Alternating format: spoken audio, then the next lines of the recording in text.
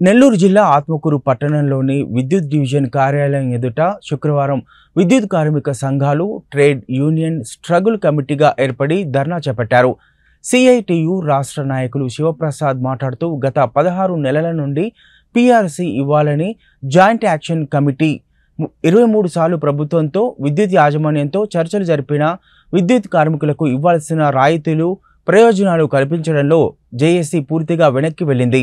కార్మికుల పట్ల పక్షపాతిగా ఉండవలసిన జేఏసీ మెతక వైఖరి అవలంబించడం వలన కార్మికుల ప్రయోజనాలను తాకట్టు పెట్టి చికటి ఒప్పందం చేసుకుందనే భావన ఉద్యోగస్తులో ఉంది. నలభై ఐదు శాతం ఫిఫ్ట్మెంట్ కోరితే ఎనిమిది శాతం ఫిఫ్ట్కు జేఏసీ ఒప్పందం కుదుర్చుకోవడాన్ని విద్యుత్ కార్మికులు పూర్తిగా వ్యతిరేకిస్తున్నారన్నారు.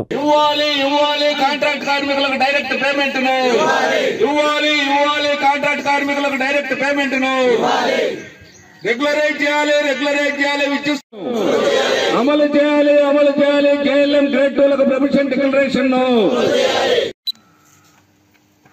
రెగ్యులరైజ్ చేయాలి రెగ్యులరైజ్ చేయాలి కాంట్రాక్ట్ కార్మికులు వెంటనే.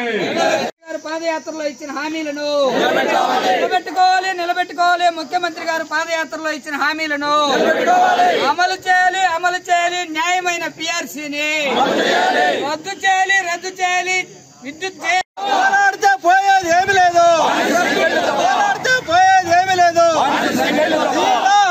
మరణ సీక. కదం కదం పర్ లడనా సీకనండి. స్ట్రగుల్ చేసిగా రేపు పదిహేడో తేదీ పదిహేడో తేదీ మేము విజయవాడకి చలో విజయవాడ విజయవాడ విద్యుత్ సౌధ ముందు మహాధరణ నిర్ణయం నిర్వహించాలని చెప్పి నిర్ణయించాం. రేపు పదిహేడో తేదీ జరిగేటటువంటి మహాధరణకి యూనియన్లకు అతీతంగా ఇప్పుడైతే ఏ రకమైనటువంటి సహకారం ఇచ్చారో ఆ సహకారంగానే మీరందరూ మీరందరూ ఆ రకంగా సహకరించాలని చెప్పి కూడా మీ అందరికీ విజ్ఞప్తి చేస్తున్నాను. సంస్థ లాసులో ఉందంటున్నారు. సంస్థ లాసులో ఉందా? సంస్థకు లాసు కారణం ఎవరు?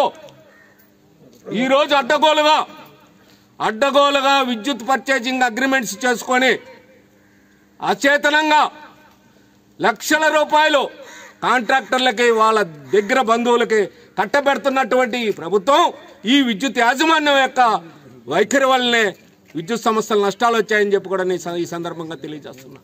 నష్టాలకి కార్మికులు ఇంజనీర్లు బాధ్యులు కాదు. ఇక్కడ పనిచేస్తున్నటువంటి ఉద్యోగులు బాధ్యులు కారు. ఇక్కడ పనిచేస్తున్నటువంటి విద్యుత్ సంస్థను నమ్ముకున్న పనిచేసే ఉద్యోగులు కార్మికులు విద్యుత్ సంస్థ యొక్క ప్రాఫిట్ని పెంచేదానికో నిరంతరం వాడి జీవన వాడి యొక్క రక్తాన్ని మాంసాన్ని ఎముకల్ని ఏడ పణంగా పెట్టి పనిచేస్తున్నాడు వాడు. శాతం పిఆర్సీ ఈ రోజు